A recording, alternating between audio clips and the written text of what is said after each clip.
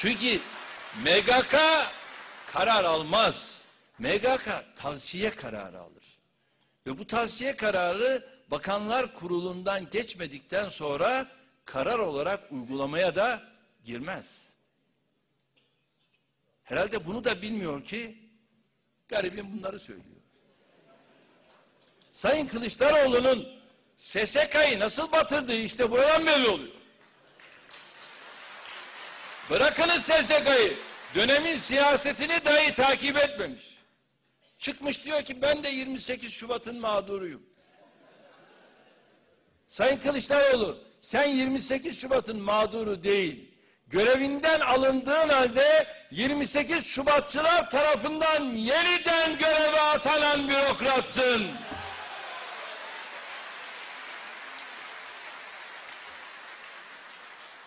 Ve 1997 yılında göreve atandığında da SSK personeline ne tür zulümler yaptığını herkes çok ama çok iyi biliyor. İşte siz busunuz. Siz mağdur olduğunuz müdahaleden şikayet eder ama çıkar sağladıklarınıza kol kanat gerersiniz. Hani şu CHP tarihine girmeyeyim. Sayın Kılıçdaroğlu'nu daha fazla terletmeyeyim. O bize lazım diyorum ama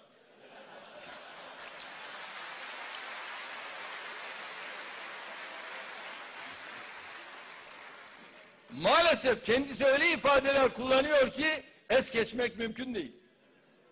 Geçen hafta grup toplantısında Sayın Kılıçdaroğlu CHP'nin tarihini aklayacağım derken yine boğazına kadar suya battı.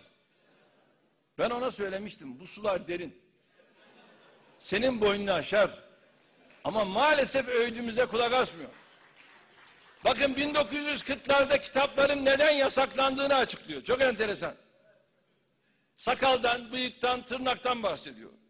Kitap yasaklanmalarını meşru göstermeye çalışıyor. Kullandığı ifadeler aynen şöyle. Yasaklanan bu iki kitaptan biri Burdurlu Abidin Karaaslan'ın yazdığı Türkçe Namaz Sureleri isimli kitap diyor. İçeriğine baktım diyor.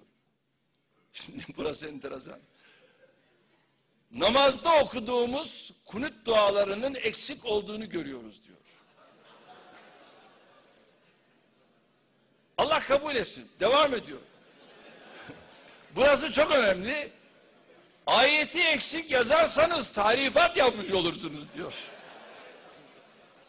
Bir kutsal kitabın ayetini tarif etmeye hiç kimsenin hakkı da yetkisi de yoktur diyor. Belli ki Sayın Kılıçdaroğlu kunut dualarının ayet olmadığını bilmiyor.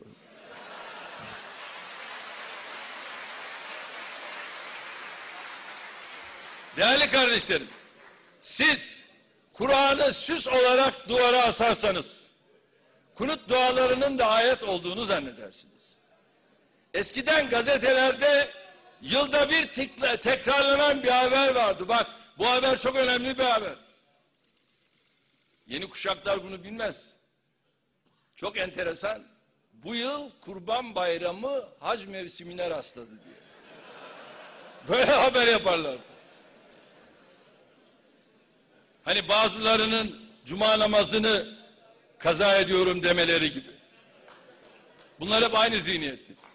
Sayın Kılıçdaroğlu son dönemde dini konulara merak sardı. Doğrusu şevkini kırmak istemiyorum.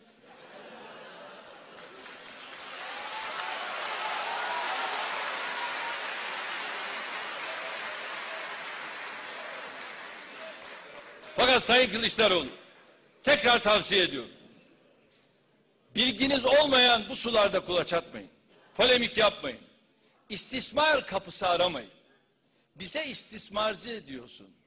Bak, istismar uygulamadığın, yaşamadığın bir şeyi yaşıyormuş gibi gösterme anlayışıdır.